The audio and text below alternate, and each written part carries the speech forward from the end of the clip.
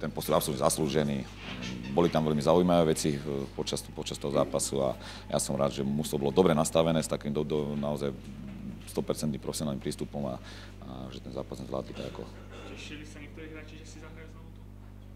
Všetci sme sa tešili.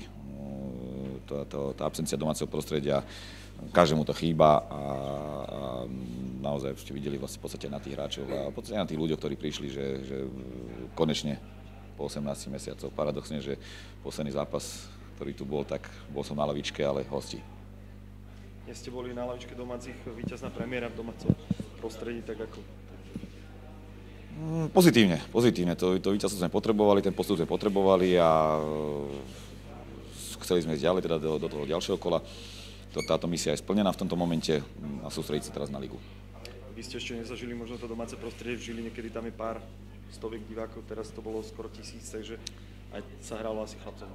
Samozrejme, e, k futbalu patria hráči, futbalu patria tréneri, futbalu patria manažéri, ale hlavne k futbalu patria diváci. A, a tá momentálna absencia je citeľná, musíme byť trpezliví a, a počkať, pokým ten štadión sa dostavia a, a verím potom, že, to, že toto bude naozaj tak domáce prostredie, že bude to, bude to pre súperov veľmi, veľmi náročné. Ako veľmi môže pomôcť toto víťazstvo, navyše štvorgolové po tej sérii nejakých nevydarených výsledkov, remíz? Musím veriť, že, že nám pomôže. Samozrejme ukáže to v tých ďalších zápasoch. Je to len jeden zápas, je to v podstate ten, že za nami a teraz začína sa nová história novým zápasom.